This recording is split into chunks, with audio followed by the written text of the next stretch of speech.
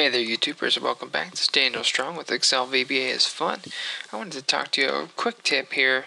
When you are running a when you're running a custom code, uh, notice last time I talked about I think this was called last row uh, when we were talking about our test one macro. Um, we would have last row to be equal to all the stuff here using the end row and I wanted to show you a quick tip, so I'm going to scooch all this out of the way. Um, you could use the max function with this. Um, I keep it simple. So I say, um, let's see here. I'm going to go ahead and use this.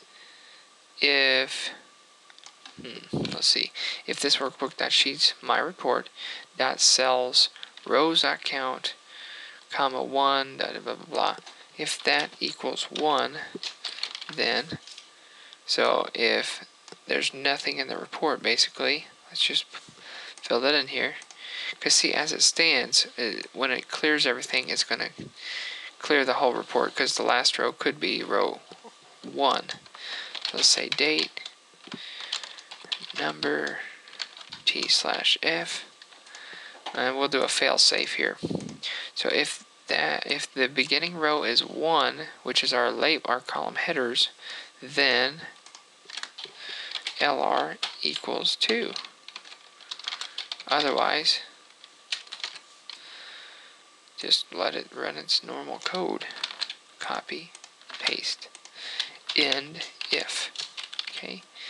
So what this is saying is if we run our last row code in it and there's nothing here, oops, and it runs it and it goes xlUp, control up, would do the same thing. It runs into row 1.